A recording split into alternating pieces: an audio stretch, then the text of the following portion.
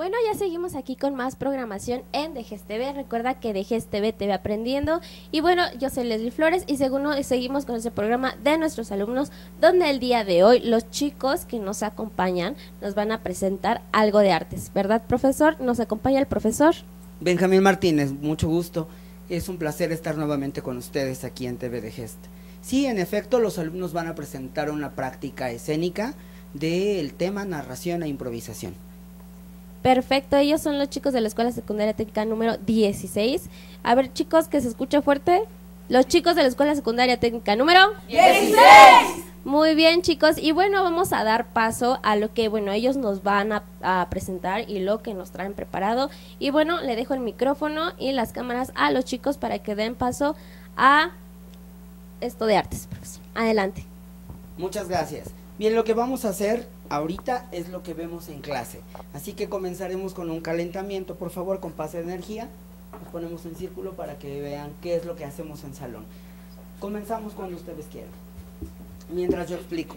Lo que los niños están haciendo es el pase de energía, en donde ellos um, están agarrando un ritmo, se están conociendo y están teniendo la capacidad de percepción de todo lo que pasa alrededor de ellos. Veamos un poco.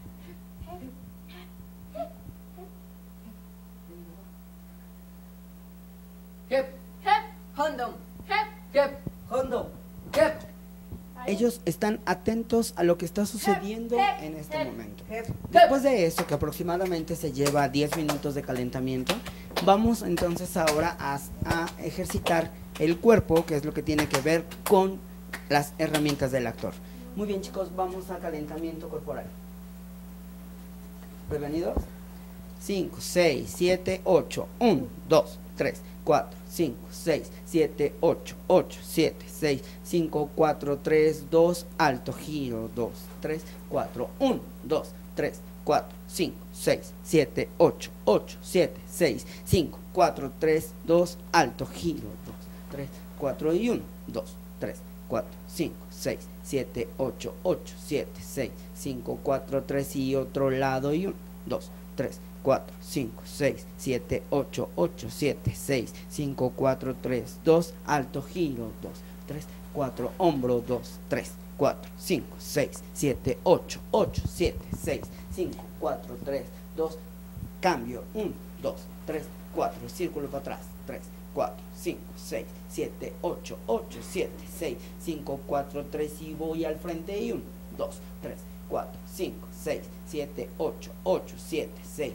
5, 4, 3, 2, cambio, 1, 2, 3, 4, 1, 2, 3, 4, 5, 6, 7, 8, 8, 7, 6, 5, 4, 3 y círculo chiquito, 1, 2, 3, 4, 5, 6, 7, 8, 8, 7, 6, 5, 4, 3, 2, cambio, rodilla, 2, 3, 4, 5, 6, 7 y 1, 2, 3, 4, 5, 6, 7, 8, 8, 7, 6, 5, 4, 3 y otro lado, 1, 2, 3, 4, 5, 6, 7, 8, 8, 7, 6, 5, 4, 3, 2, cambio.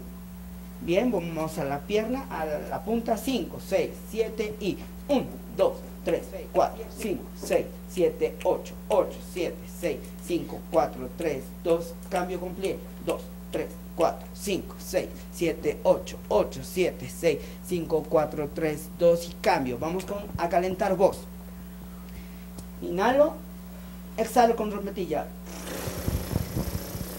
Este ejercicio nos sirve para calentar cuerdas vocales. Otra vez, por favor. Inhalo, exhalo. Bien, con esto ellos están calentando para no lesionarse en caso de... Porque además tenemos que hablar con volumen. Corte, última, inhalo, exhalo.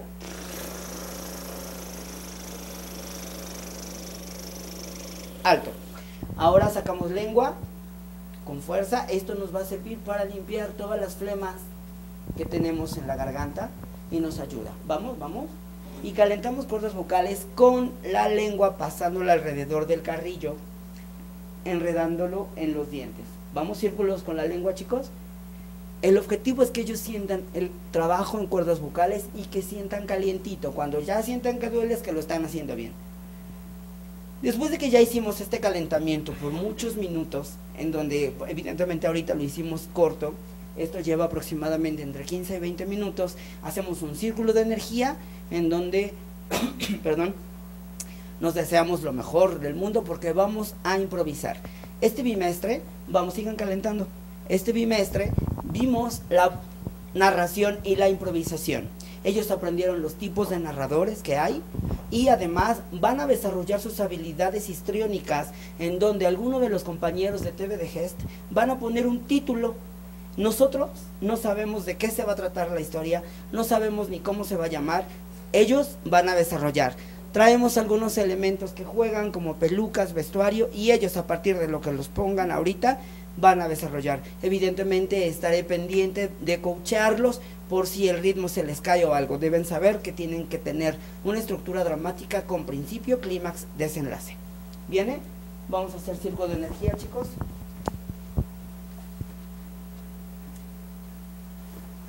Ahora sí, ¿qué título quieren? Ah, Jack muere congelado. Jack muere congelado. ¿Escucharon? Repito. Jack muere congelado. Adelante. Bueno, hoy les presentaré una gran historia llamada Jack muere congelado. En una historia, ay, perdón, en un pueblo muy grande se acercaba el invierno. Jack era, era un niño que no tenía hogar, sin embargo, él se las daba duras para conseguir comida, vestimentas, zapatos, etc. Jack era un niño medio alto, nunca se cortó el pelo. Yo soy Jack, el más pobre. Un día Jack estaba llorando y sufriendo de frío, pero una niña muy agradable lo vio.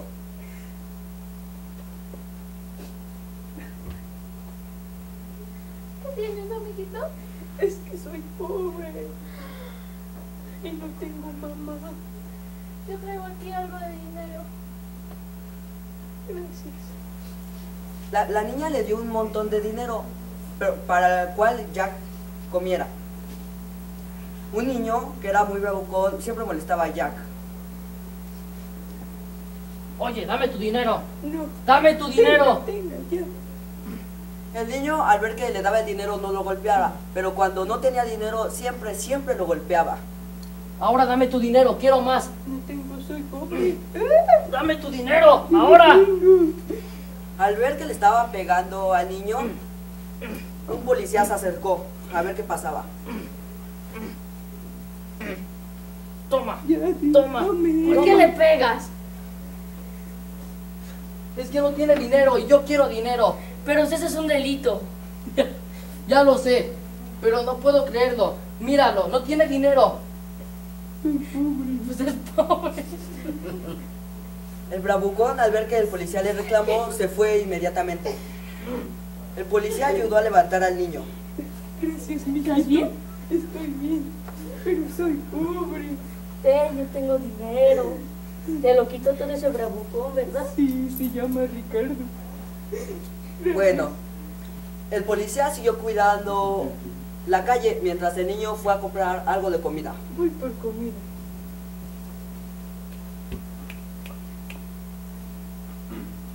Bueno. se va a morir. El niño, el niño tenía aproximadamente cinco días de, que, de su muerte, ya que el invierno ya estaba llegando.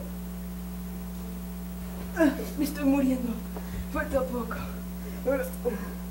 Todos se quedaron en su casa tapados viendo la rosa de Guadalupe, pero como él no tenía casa ni dinero ni nada, pues se quedó ahí tirado, durmiendo.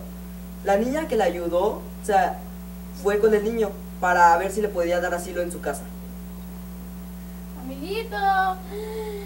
Amigo. Eres Diosita. Estoy muerto. Más o menos. Ay, pero. ¿En dónde estoy? ¿En la calle? Uy, qué bonita está. La niña se lo llevó a su casa inmediatamente, ya que el niño estaba quedando también tontito. El, el policía siguió cuidando la calle y se preguntó, ¿dónde estará ese niño? ¿Y ese niño dónde estará? Bueno, ya que no vio al niño, pues fue a un club de cerveza para tomar un trago. Dame un trago. El niño estaba ahí trabajando, ya que la niña le había dado trabajo ahí. para ganar un poco de monedas. ¿Y ahora tú qué haces aquí? Ya tiene que no te encuentro. Es que estoy trabajando para que me den un peso para mi tortilla y mi frijol. Dame una cerveza. Este. ¿Se venden cervezas? A 15 varitos la victoria. ¿Cuánto das la cerveza? Yo la estoy haciendo. ¿Pesos? Pero venga, acá le conviene más. Aquí le vendo tres victorias. ¿Y a cuánto cree que se las doy? ¿Cuánto? 50 varos. Démelas. Pero yo le puedo dar más. es. ¿Cuánto? Un yate, un carro y una mansión si me compra por un año cerveza. Yo le vendo una isla. Está más grande. Si quiere le regalo mi cabello, está dinero más. Mire el mío, el chino rizados. Gusto capriz. Ah, se nota. Vamos cerrando historia, vamos cerrando historia. ¿cómo? Después de tanto tiempo, el niño no aguantaba tanto el frío, ya que la niña le mintió, solo le ofreció trabajo. Aquí está velado, no puedo llegar a El niño ya estaba poco a poco muriendo. Hace mucho frío. El niño finalmente no aguantó tanto el frío y murió, quedó tirado. La niña al ver que el niño no, no tenía casa y estaba dormido, pensó, voy a darle más dinero y más trabajo. Amigo, amigo. Era inútil, ya que el niño estaba muerto. El bravucón llegó, se acercó y dijo, ¿qué le pasa? ¿Qué le pasa? Yo quiero dinero. Ya se ¡Dame murió. dinero! Ya se murió. Ya no tiene dinero. ¿A quién voy a explotar? ¿A quién voy a quitarle su dinero? No puede ser posible. reflexión. Está muriendo de frío. Intentaré taparlo. todos eran muy tontos, ya que ya había muerto el niño, pero aún así le estaban dando sus Amigo. cosas. Amigo, no te mueras. Amigo. No te mueras. José. Anda cuatro. Bueno, ya estamos de regreso, ya vimos lo que los chicos nos presentaron, el calentamiento que hicieron y bueno, esta representación este de momento que bueno, nos sacó una que otra risa, ¿verdad? Y bueno, de eso se trata, ¿verdad? Profesor, platíquenos de improvisar. Claro que sí, el objetivo es que los muchachos desarrollen habilidades y unas herramientas para la vida. Puede ser hasta cuando van a tener que decir una mentirilla a sus papás, ¿no? Que no es el objetivo. Sin embargo, es, es decir, que tengan las capacidades para poder no quedarse callados y resolver, siempre resolver. Ese es el objetivo. Y bueno, conociendo la estructura dramática, principio, clímax, desenlace y siempre estar pendiente de todo lo que está pasando a su alrededor. Muy bien, chicos. Bueno, ya escuchamos lo que el profesor nos dice y cuál es la finalidad para que los chicos se sientan como que también tengan más seguridad en sí mismos, claro, ¿verdad? Y bueno, podemos ver que claro y cla- bueno, claramente lo pueden desarrollar. Este, yo les pregunto a ustedes, chicos, ¿cómo se sienten con este tipo de clases? ¿Quién me quiere contestar? A ver, adelante. Pues bueno, el profesor nos sentimos muy bien, ya que él, en vez de regañarnos, gritarnos o decirnos que está mal, nos dice, nos da como, mm, nos da cosas para que nos ayude en la improvisación. ¿Alguien más, chicos, nos quiere comentar? Si les, a ver, adelante. Que al momento de actuar nosotros nos sentimos muy padre, nos soltamos y te- tenemos reacción a cualquier cosa, desde una muerte hasta un, un robo.